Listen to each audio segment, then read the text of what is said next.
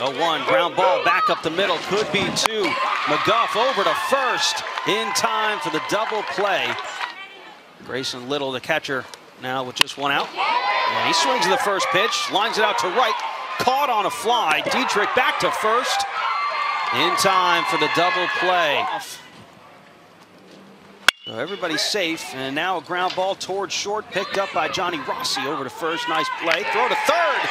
He's out at Chase Lake at third. So it's Trendle on second. And this one lined out to second base, throw back to second in time, double play. And Pennsylvania wins the opener here, seven to three, your final score. Two outs, and Peter Hudson, line drive center field. And this one gets all the way to the wall. Gets under Isaac Long's glove. There's the throw from center field. Hudson slides in safe at third base. Curveball grounded up the third base side, stopped by Mason Tally over to first. What a play by the third baseman at the hot corner. And the 2-2, swing and a miss.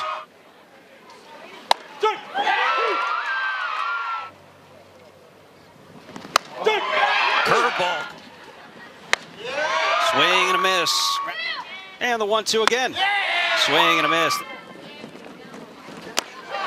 2-2 off the end of the bat. Or no, swung on a miss at the plate. And a throw down to first or the out. Swing and a miss, second strikeout. Swing and a miss. And the 0-2, swing and a miss. Double digit Ks in this one. Here's the 1-2. Got him to chase on a breaking pitch, and the tag applied by Luke Luzader there.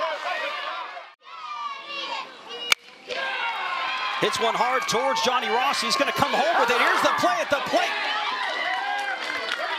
And he's out. Up to second. One, two.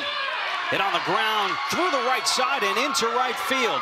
Right's going to be waved home. Here's the play at the plate. What a throw.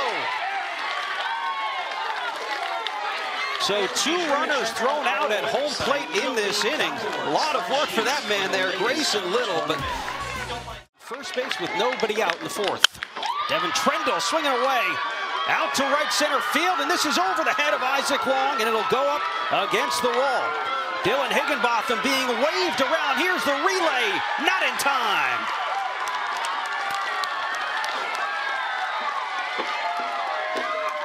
It is 7 to 4, Washington, D.C.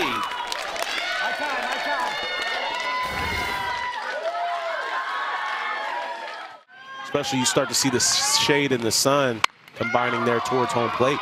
This one hit well out to left field, and a diving catch is made by Bo Rabel. How about it, big fella? He was all over this breaking pitch out to left field, and it is way, way out of here. He got two fastballs on the inner half of the plate that he missed, kind of took wild swings, saw this off speed and stayed back on it, and he absolutely demolished this baseball right here. Top of the order, and Peter Hudson gives it a ride out to left field, way back, and it is gone.